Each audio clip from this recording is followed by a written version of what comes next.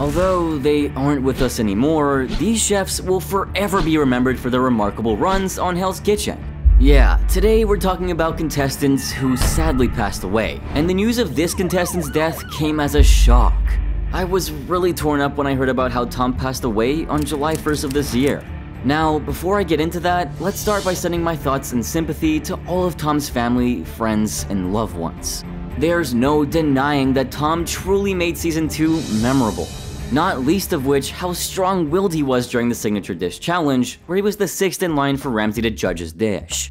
As Ramsay lifted the cloche that was covering it, you could tell that he was a bit nervous.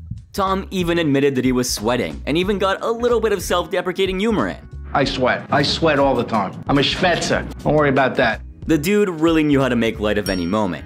He had prepared shrimp scampi with a little twist, and I'm sure nobody expected it to be a cooked Caesar salad. Obviously, Chef Ramsay was appalled by the concept. First time in my entire life I've been served a cooked Caesar salad. But this is the moment where Tom really impressed everyone. Despite Chef Ramsay's strong reaction, unlike the other contestants who are never receptive to criticism, Tom neither talked back nor got defensive.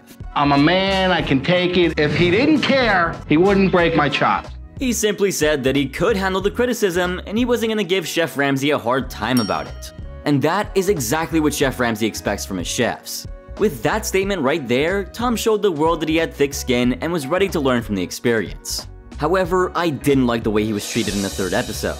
During the relay challenge, Tom took the initiative to be the first on his team, and he was responsible for receiving information about the three dishes they needed to prepare, being chicken, tortellini, and salmon. Somehow, Tom found pre-made tortellini, but when Chef Ramsay noticed, he called him out and reminded him that there were ingredients available to make fresh ones. Tom not only acknowledged this, but also effectively communicated all the necessary information to Giacomo, ensuring that the team made some progress.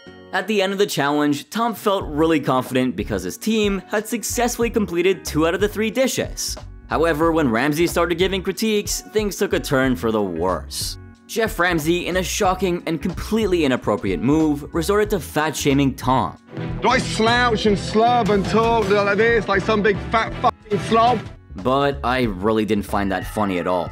And what's more, Tom's reaction was justified. He attempted to interject because he wanted to voice his thoughts, but Chef Ramsay's derogatory comment took it to a whole different level. But Tom wasn't willing to back down this time.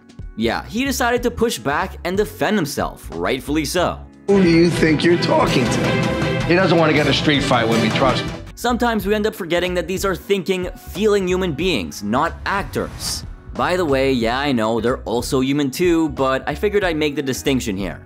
And also, there's a shit ton of editing that goes into making someone appear the way they do on the show. Turns out, contestants are poked and prodded to give certain reactions in their confessionals. But Chef Ramsay isn't a cult with Chef Ramsay being the all-knowing infallible leader or something. So maybe sometimes I can stop treating him like one and agree that there have been times where he's definitely crossed the line. I came across this post where Grub Street called Chef Ramsay off-putting, and this may still be the nicest thing they said about him. Listen to this. The kind of negative press the chef seems to actively seek, it gives him fuel to continue to build his empire of television shows, cookbooks, and overpriced restaurants. Grub Street doesn't begrudge Ramsay for being successful, but his success comes at the expense of manners and taste.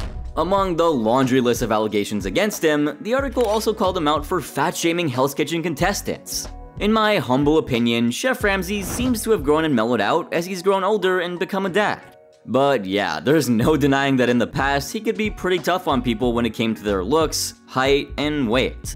Missy, Missy, come here, you fat mouth little stupid bitch. Now, let's be honest, these criticisms have nothing to do with their actual skill in the kitchen. Coming back to Tom, his obituary reads, Thomas Henry Pauly, age 60, passed away on Saturday, July 1st, 2023 at his home in Lakewood. Born in Englewood, New Jersey, Thomas was raised in Harrington Park and has resided in Lakewood for the last two years. Also, did you know that Tom worked on Wall Street for many years before following his true passion for cooking? Yeah, turns out he attended the French Culinary Institute in New York in 2004 to 2006 before venturing out to different restaurants. What's more, apart from being a great chef, Tom was an avid golfer and a huge New York Yankees and New York Giants fan. Rest easy, man. Up next, when asked about his future plans, this next contestant said, I've never been one of those kinds who has an ultimate goal. I kind of just go with the flow. Some people have the desire to get to one point, my path chose me, so in that respect, you never know what's coming down the pike. I might find something else later on in life. Any knowledge is good knowledge, so I'll take it all. I mean, the man I was at 25 isn't the man I was at 30. You know what's coming, as far as I know now, I'm loving it. Well, these were the words of the late great season 16 contestant Paulie Giganti. On April 20th, 2017, Polly was found dead in his home in Philadelphia, as reported by Philly.com. He was only 36 years old. According to James Garrow, a spokesperson for the Philadelphia Department of Public Health, Paulie's passing was the result of accidental drug intoxication. Sadly, the restaurant industry has become extraordinarily fertile ground for the abuse of illicit substances like alcohol, prescription opioids, cocaine, and marijuana. But the most pernicious of them all, according to the experts, is fentanyl. It's said that people who come from unstable family backgrounds, have experienced inconsistent parenting, or grew up in a less than functional home can still climb the ladder and earn a decent living.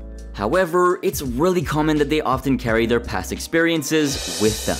Addiction is less about your external environment and more about what's happening inside your mind and body.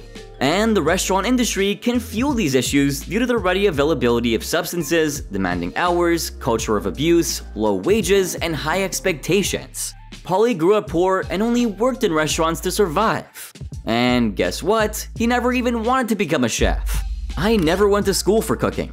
I was gonna be an engineer. I was basically doing it as a measuring stick on myself. I didn't care about any preconceived fears and notions. I just wanted to see how I could cook against other trained chefs. And boy, he was pretty impressive. Man, he not only taught himself the art of cooking, but managed to reach the impressive fourth place in the competition. That was just behind Heidi Parent, the runner-up Heather Williams, and the winner Kimberly Ann Ryan. His journey on the show kicked off with a remarkable start, and he made quite the impression on Chef Ramsay.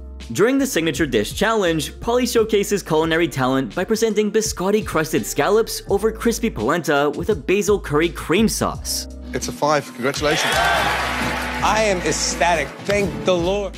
His dish earned him the distinction of being the first male contestant to ever achieve a perfect score of 5 in the new format of this challenge, and that's no small feat. At the time of his passing, Paulie was running the restaurant Bira in Philly and his journey on the show is a testament to the power of determination and self-learning. You will be missed, Paulie. But what happened to this next contestant from season 12 who was dealing with cirrhosis, a liver condition, and also a chronic inflammatory bowel disease is a real shame. I'm of course talking about contestant Jessica Vogel, who suffered from some major health concerns and, to make things worse, also fell prey to substance abuse. Although she was believed to be in rehab, it came too little, too late. Her fiance, John Kaiser, shared the heartbreaking news of her passing on July 30th, 2018. The poor woman was only 34. Despite her ongoing treatment for colitis, her heart ultimately just stopped beating, as Kaiser explained. Dan Ryan, a fellow contestant from season 11, said, I have no words. I'll miss her greatly. All HK contestants are family to us, alumni. After the news of her death broke out, more comments started pouring in from the Hell's Kitchen family. Rest in peace to a friend and sister through the birth of fire, tweeted season 12 contestant Gabriel. Though Jessica was being treated for colitis at the time of her death, the chef seemed to acknowledge that she had a drinking problem, as pointed out in a Medium.com post from October 2017. It has since been deleted though. She wrote, When my sister says start a blog, the narcissistic alcoholic in me thinks me and I.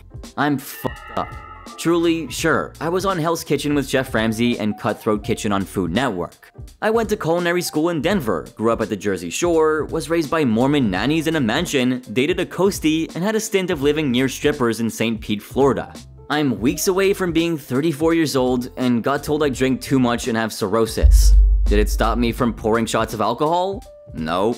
Did my lifestyle of sex, drugs, and foie gras come to a born again Christian revelation? Fuck that noise. I don't know if you want to have an adventure tale, but I'm here and ready to tell. My name is Jess, and I've lived to tell about it. To be continued. Those last three words are genuinely bone chilling. It really shows you how fragile our lives are. Rest easy, Jessica. You were gone way too soon. Now, I want to take a quick break from this pretty heavy topic for a sec to make this known.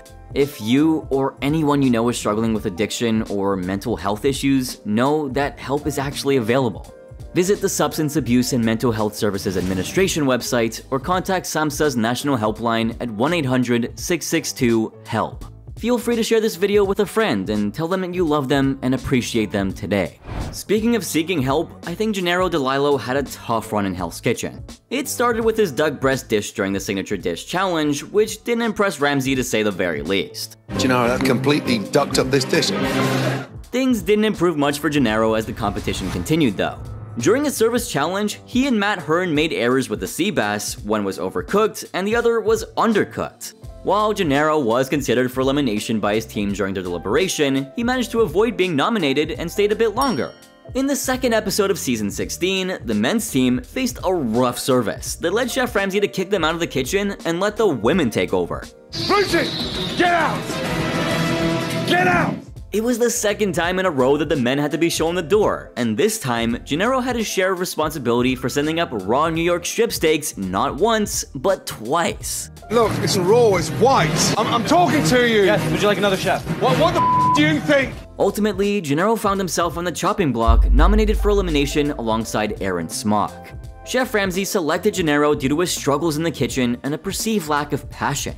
Despite the challenges and setbacks, Gennaro held on to his belief in himself, stating, I have a lot of passion and fight in me. Sadly, my teammates didn't see that. I know I'm a good cook. My fiance knows I'm a great chef. I'm a winner in my eyes. And I agree. Nobody else, certainly not a reality TV competition, should decide your worth but you. And certainly not Johnny. You're embarrassing me in front of one of my heroes. Well, I apologize for that. No, but for real, how overplayed was his reaction? So damn forced.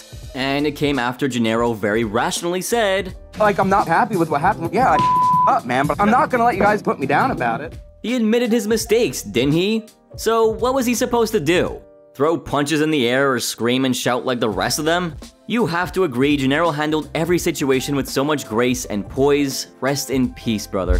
Moving on, when season 12 contestant Sandra Flores opened up about her post HK journey, nothing prepared us for the devastating tragedy that followed. Listen to this.